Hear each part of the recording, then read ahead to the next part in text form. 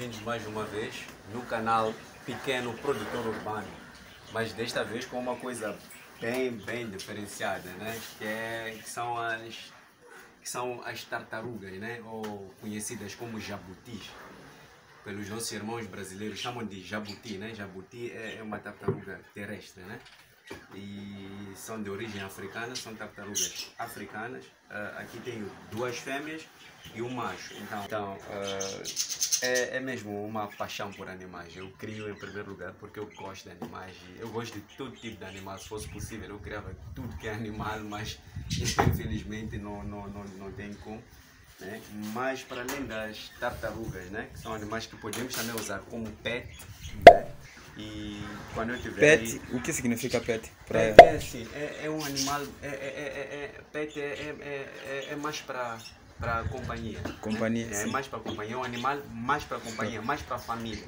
Pet é um animal que tu tens, assim, mais perto de si. É um animal que não, não vais comprar, eh, por exemplo, para reprodução. Porque há uma, há uma diferença. Como eu havia explicado no vídeo anterior, quando falei das bramas, que a minha intenção é criar animais para pet e para reprodução, né? Para quem, por exemplo, quer melhoramento genético ou para ter como pet. Como pet é ter um animal de companhia, um animal só para aquela terapia. Ah, está claro. As tartarugas também servem para isso, mas em particular as tartarugas, eu acho que elas são mais animais para pet, né? E por quê? Porque quanto a, a, a, ao valor, aquilo, a venda, não é um animal que é assim, Lucrativo. lucrativo, não é assim, não é lucrativo. Por ser um animal também né, muito exótico, é um animal exótico, é um animal selvagem, as pessoas não procuram muito para reprodução, só mesmo para, para pet. Sim, o, o irmão Rudy estava a explicar aqui a diferença entre o macho e a fêmea. Sim, Explicou aquela concatividade que existe sim, no macho. sim, sim. Podemos ver a fêmea aqui. tem esta concatividade e, e, e, e, como vê, o macho leva, como é que eu posso chamar isto cientificamente, me esqueci, né? Orifício. E Sim, este é, é mais comprido em relação à fêmea. Podemos colocar assim de né? pernas Sim, sim. para comparar. Só para tu, só para ver aqui, Sim. é mais comprido, né?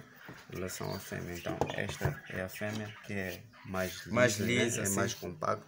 E E é, é menor. curto, como veja, é Sim. menor. É menor em relação ao macho. Então podemos ver aqui uma diferença, É uma né? diferença. que é menor, ele tem esta parte, né? Mas eles são agressivos, não, não, não são? Nada, mano, não são nada agressivos, não. Esta é uma fêmea, né? Uma fêmea. E qual é a diferença? Este maior consegue efetuar o acasalamento? E, epá, eu digo, digo, digo sim, sim, consegue sim, porque, porque já, já tive a oportunidade de, de, de ver um macho a cruzar com, com esta fêmea. Já, já, já tive essa oportunidade. Sim. Então, são animais que vivem muito tempo, são animais que, bem cuidados, vivem muito. Então, como é que eu obtive? Eu obtive esses animais por. Mesmo elas vêm, vêm, vêm eh, de um, de um, de um sítio onde elas não eram bem criadas, assim posso dizer. Não comprei elas só por diversão, elas realmente elas estavam a ser, não estavam, não, então, como é que posso chamar, é maus tratos, né? Elas tiveram maus tratos, porque quanto à alimentação, por exemplo, tu vês isto, isto é uma particularidade que, que a tartaruga não pode ter. Né? Isto significa que a tartaruga não estava a ser bem alimentada. O manejo em si, então, eu, eu, eu tive mesmo porque as pessoas não estavam a saber cuidar, né? E o que eu tenho feito é, é cuidar delas. Não, não tenho nenhuma intenção em ganhar lucro com elas. Eu só tenho elas aqui que é mesmo para cuidar. Sim. Em questões eh, de legalidade para a criação, não temos problemas com o governo por serem animais protegidos ou nem tanto isso?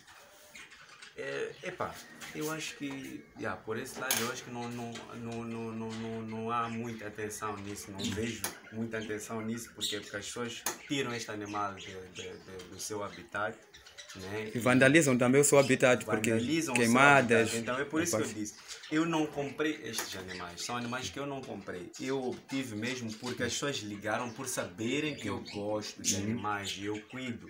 Ligaram mesmo a pedir né, que eu cuidasse, porque não eram tiraram este animal, primeiro tiraram muito longe daqui, isto é uma área urbana, não temos mato nem floresta destes animais aqui perto.